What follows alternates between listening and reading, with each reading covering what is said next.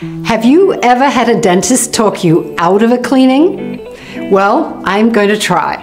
And I'm Dr. Ellie, and I am here to help you have the healthiest mouth ever and avoid unnecessary dental treatments. And in my opinion, you need to be thinking about dental cleanings in a more practical way than you probably do. Welcome back to the Longevity Deprocessed channel. Today we'll learn from Dr. Ellie Phillips, a leading expert in dental health. She'll be exploring some surprising insights about dental health. Have you ever wondered if it's really okay to skip your regular dental cleanings? Dr. Phillips will reveal what you can do to skip regular cleanings. Plus, we'll reveal a sweetener that doesn't just prevent cavities, it can actually help heal your teeth and offer more benefits than you might expect. If you're curious about how to maintain oral health in unconventional ways, this is a video you won't want to miss. Stay tuned for Dr. Phillips' expert advice. Here's Dr. Phillips to tell us more. Oh, a quick favor. We'd greatly appreciate it if you can subscribe and like. This helps the YouTube algorithm recognize the value of our content and share it more widely. Everybody gets these cards and calls from the dentist or texts these days. Time for your recall, six month recall. And you go to the dentist and you have a cleaning because that's what they do. But do you need a cleaning? Maybe you do, maybe you don't. Do you think it stops you from getting cavities? How does that happen? What's the science? And particularly when it comes to little children, I get really mad because some mothers pay for every child to have a cleaning. And do they need it? And is it beneficial? So I want to unpack all of that. And the first way that we need to look at this is to determine why are you having a cleaning? Do you need it? Well, if your dentist or your hygienist tells you, yes, you do need a cleaning because you have that crusty stuff that they call tartar, calculus, plaque in places around your mouth, then you do need to do something about that. The, the hygienist could clean it off your teeth, but believe me, it's going to come back. And you don't have to have that. Plaque is a bacterial infection yeah, it's not a thing. It's not a substance. It looks like a substance in your mouth. But let's go down a microscope and start at the beginning. In your saliva, in the liquid in your mouth, are lots and lots of kinds of bacteria. I think they're now saying about 900 different kinds of bacteria, and most of them are really good and helpful. One particular kind of this bacteria is called Streptococcus mutans. What they do is travel around a mouth, say a mouth of an infant, before they have teeth, they can't land anywhere because the only place strep mutans can multiply is on the hard surface of a tooth, a non-shedding hard surface. They love teeth. And strep mutans consumes sugars. So if you have sugars in your saliva from the foods and drinks you eat or drink, strep mutans will take those sugars and use it as an energy source to multiply and also to make sticky pads that glue strep mutans to your tooth and to other strep mutans. So they start lining up and maturing, and then when they mature, they're kind of little columnar, like little pencils under a microscope, lined up, stuck to each other, and then they form these blankets. And then the next blanket comes on top. And so they layer not only sideways, but thicken. And when they grow so thick, they can actually be seen that is when you have plaque on your teeth. So if you scrape with your fingernail and get a soft white fluffy stuff off your teeth and you were to look at that under a microscope, it is a seething mass of these bacteria that are all glued together with the sticky glucans from sugars that you have eaten and been eating or drinking. Now, yes, you can brush that stuff off your teeth, you can floss it off your teeth, but it's not going to go away because in your saliva, you have more strep mutans just waiting to land on your tooth. And it takes about 12 hours for a strep mutans to land on your tooth, call its buddies to come and join it, and start developing into this infected mass. So you have to brush your teeth every 12 hours, otherwise, you are going to develop plaque. But that is an ongoing process that never gets better. The suggestion I would make is that you start using the strategies I recommend. You see, we knew in 1970 that if you consume a tiny amount of xylitol, this sugar from birch trees, at the end of meals, and then you don't eat or drink, over a period of a month, the xylitol will feed all the bacteria in your mouth, feed all the good ones. It will also feed those nasty strep mutans that are on your teeth the thing is, strep mutans cannot use xylitol. It's the wrong shape. It's a five carbon sugar, and it just like the wrong uh, cog in a wheel, it cannot use it for energy. And without energy, strep mutans can no longer make their sticky pads to stick to your teeth, so they become slippery. So you can wash them away when you clean your teeth at night with a mouthwash the ones I recommend are particularly good for this. And your strep mutans, when plaque back forming bacteria, just disappear. And the good bacteria, when the, the, teeth are clean and there are plenty of good bacteria, they will take the place of the ones that you just eliminated. And in a month, your teeth will be cleaned of strep mutans. No more will be landing on your teeth. If you have a good toothbrush, the kind I recommend, don't use soft, silly battery ones. Use the good manual brushes I recommend. And with vigor, brush your teeth. You will stop these so-called kind of dying or non-useful plaque bacteria that just stick on your teeth. You will get them off your teeth and your teeth will look clean. They will feel shiny and smooth. And after six months, you won't have any more strep mutans even in your saliva. You will have got rid of the entire life cycle of strep mutans if you are consistent and regular in your use of xylitol. So no longer do you have the possibility of plaque. And you can actually test this. I test my own saliva periodically. I have zero plaque forming bacteria in my saliva.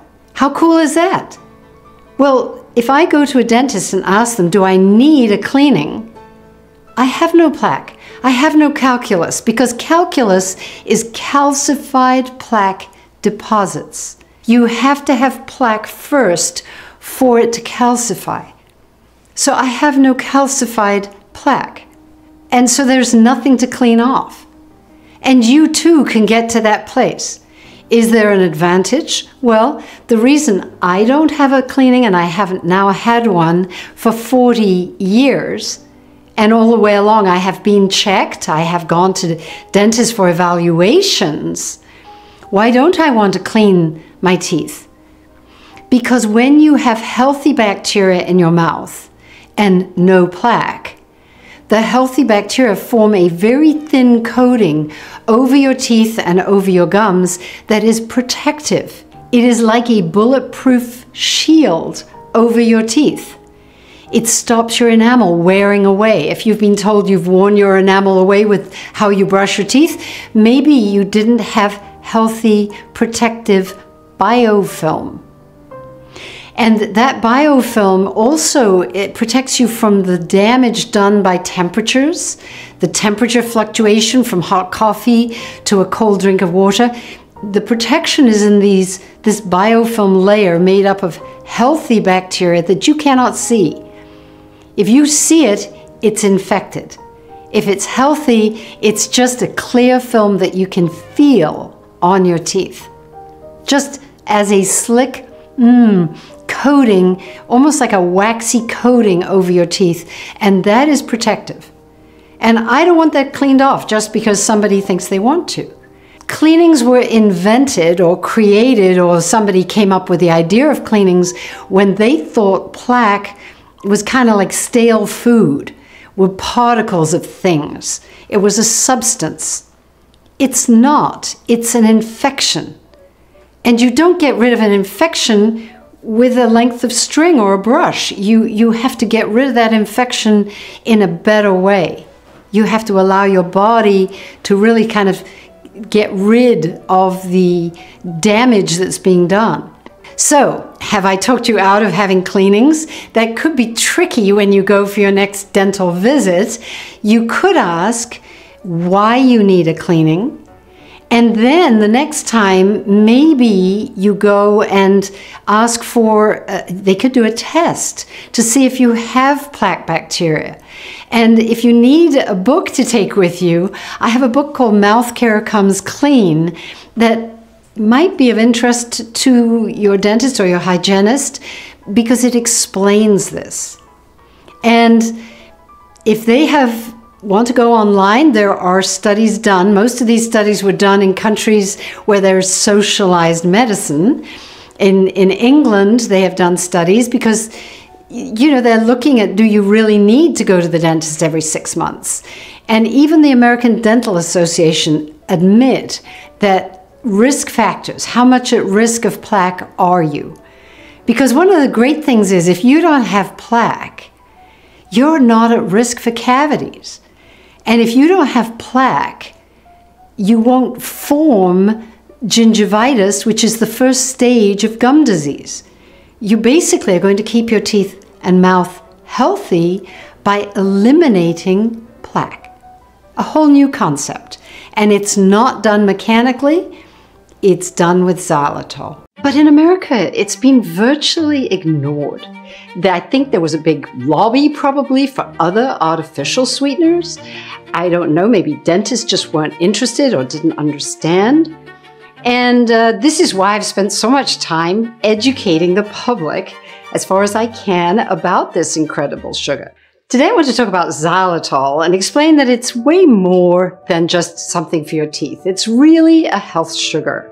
And although people who know me know that I have been about xylitol for over 20 years with my own company, I started that company mainly so I could share xylitol that wasn't available in the United States with my patients, my family, my friends, employees, and all of those guys have enjoyed xylitol now for over 20 years. I think what many people just do not know are the amazing effects of xylitol that go far beyond oral health. They're actually really good for general health and well-being. You see, xylitol was first discovered a long time ago. It's naturally found in plants like corn husks and also in fruits like raspberries and strawberries. It's mainly known because it is found in the wood of trees, birch trees and beech trees in particular. It also is in our human body. We have it in the tissues of our body, so our body, when we eat and consume xylitol, actually knows what to do with it. It was used over 150 years ago as a baking sugar, as a sugar for diabetics. And there's a book actually on Amazon written over 20 years ago, uh, Sweeten Your Life, the Xylitol Way. And this is uh, just to show you that people have baked with xylitol. It's been known in China and Japan for decades. In countries, uh, Scandinavian countries, they understood in the about 60 years ago how to use xylitol with preschool children. And when they handed out in preschool, they found over 60 years of experience that these children don't get cavities. It's that simple. They also use it to improve the health of pregnant mothers, and they found that then the mothers don't spread the bacteria to their children. So it's been a public health measure in Finland and other countries. The University of Turku in Finland was very central in a lot of these studies. But in America, it's been virtually ignored. I think there was a big lobby probably for other artificial sweeteners. I don't know, maybe dentists just weren't interested or didn't understand. And uh, this is why I've spent so much time educating the public as far as I can about this incredible sugar. It's very, very different from all sugar alcohols and from sugar. It's actually a five carbon molecule, which is completely unique and different from the six carbon molecules of sugar and other sugar alcohols. And this means that it behaves entirely differently from regular sugar. It's the opposite, in fact. It's actually good for teeth. You can eat some xylitol right before you go to sleep, and it will improve your mouth health while you're sleeping. It helps to eliminate plaque. It's diabetic safe. And what's more, it has positive digestive results. In your gut, it actually promotes the bacteria that form butyrate. And that is a very good thing because butyrate improves the lining of your digestive system.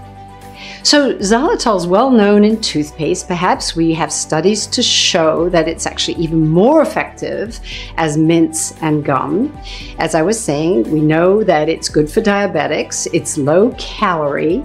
It's even somewhat recommended if you're trying to lose weight because it seems to enhance some hormones that make you feel satiated. That means you don't feel as hungry and you feel like more full. You don't want to eat more.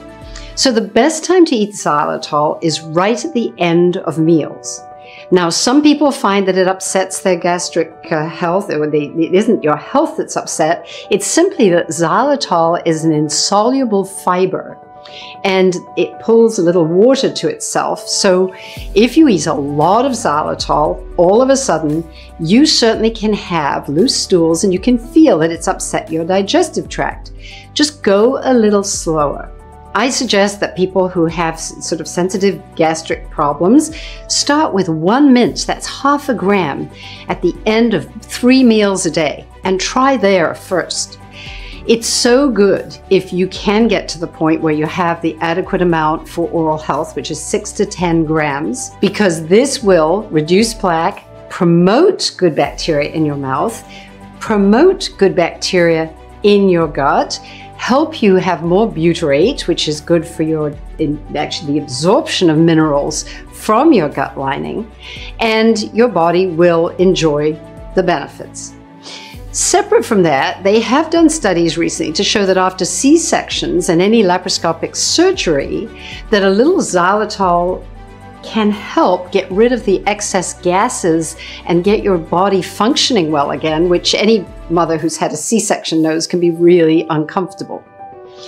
Talking about pregnant women, there was a study in Malawi just in 2022 showing that ah, thousands of women in Malawi, where they have the highest rate of preterm birth, actually found that taking two pieces of xylitol gum, they were able to reduce their risk of preterm birth. Another study in Japan in 2020 was done with, because they actually knew that there was a supplement that could reduce cancer risk. And when they analyzed what was in the supplement, they actually found it contained a lot of xylitol. So their next studies were done in vitro, which means in the lab, as well as in vivo, in, in people, to see if xylitol could perhaps have the same effect on cancer suppression. And they are still doing studies, and it's showing very positive results. Uh, now, Besides that, the study also confirmed that xylitol seems to sensitize the cancer cells to chemotherapeutic drugs. So I believe, and I've always encouraged people during chemotherapy to keep using xylitol for their mouth health. But now we have some other reasons to believe that it could be really beneficial if you're undergoing chemotherapy, not just to help your mouth, but perhaps to improve the outcome of your treatments. And that, that we will keep an eye on and let you know more as the studies unfold. So people with sensitivities are probably bemoaning these things. And I would once again encourage you, go very slowly, small amounts, and just take your time to acclimatize to xylitol. Now, saying all these wonderful things about xylitol, I absolutely have to inter interject here. Xylitol is not for pets, not for dogs. It can release significant amounts of insulin if dogs consume xylitol in a quantity or even a small amount. So don't give xylitol to animals, please. And all the Zellies products, my products, carry that warning. Now, when it comes to what's the most effective, mints appear to be just as effective as gum. And sometimes I think in dry mouths, the mints are probably easier to use and maybe better.